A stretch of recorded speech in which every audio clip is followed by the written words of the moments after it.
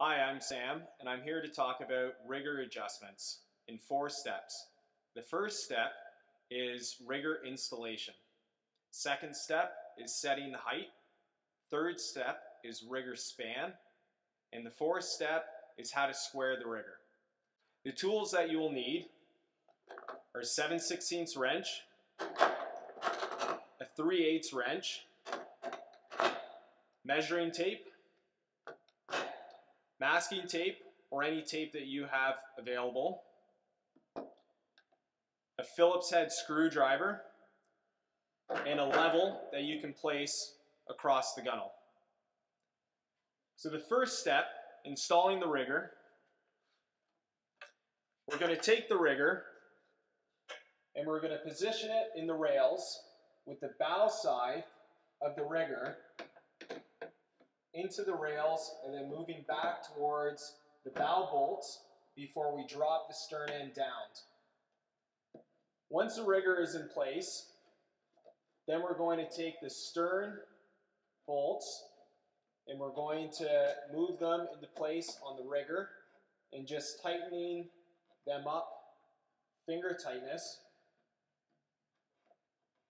And once they're to a point where you can't tighten them up anymore with your fingers, then we're going to take the 7 16 wrench.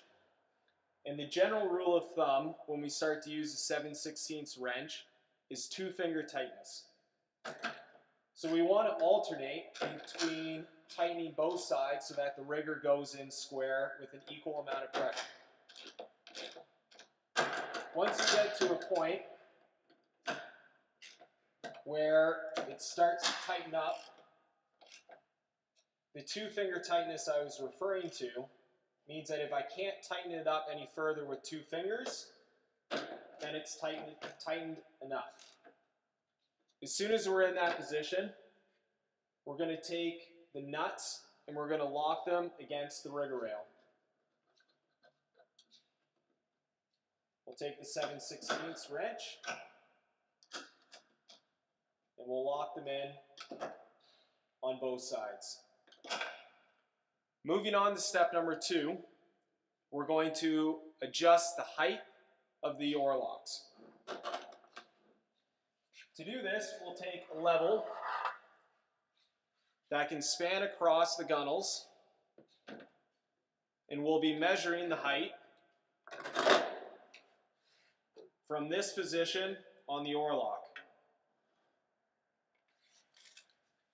You want to have a centimeter overlap, starboard over port, and if you want to make any adjustment on the height of the oar lock, we'll take the 7 16 wrench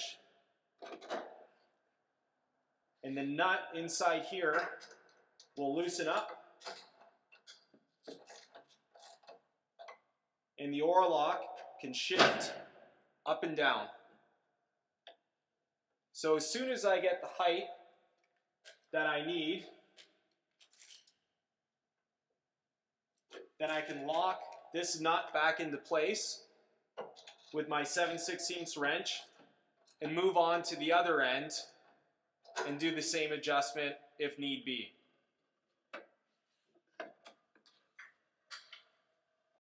In step number three, we're going to be adjusting the span.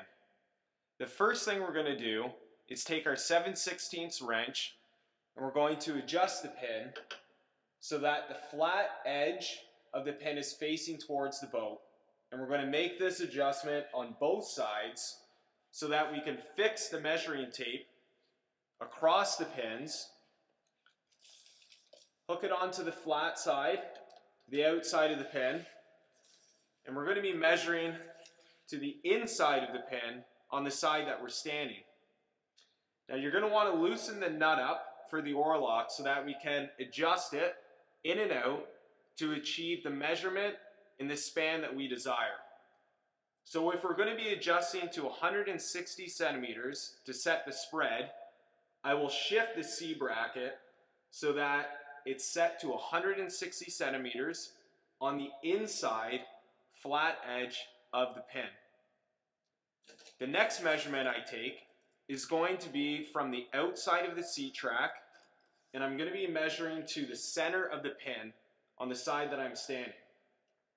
My measurement says 97 centimeters. Now I'll take the same measurement on the opposite side, and that'll give me another number.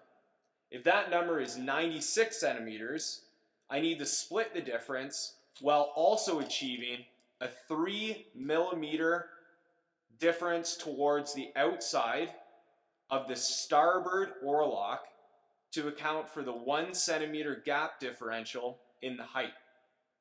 As soon as I have those measurements set in place, I'm going to recheck my span to ensure that it's still set at 160 centimeters.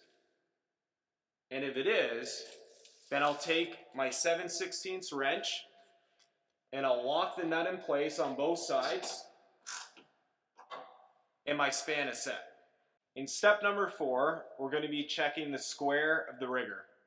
We want to ensure that the rigger is in place with the stern side bolts firmly setting the rigger into the rails.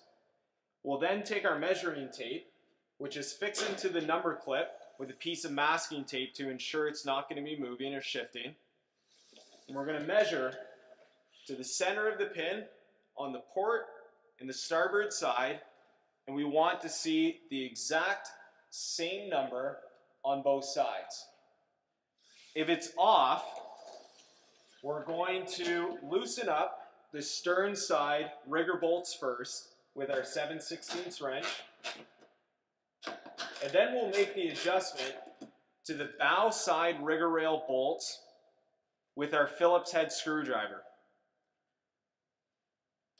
If the number that we're trying to achieve on the port or starboard side is off, we're going to try to move the bow side bolt towards the stern of the rigger rail.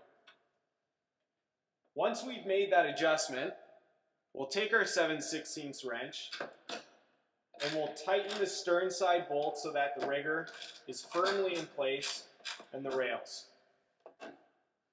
We'll check the measurement again. And we'll see if we have the same number on both port and starboard side. And if we do, then the rigger square is set. We will then take the, the nuts on the bow side rail and lock them against the rail itself with our 7 16 wrench. Now the bow side bolts on the rigger rail never have to be moved again. The rigger will always be square when you install or you take it off at any point. The only bolts that you need to move are the stern side rigger rail bolts. That will tighten the rigger in place and it will loosen it so that you can take the rigger off.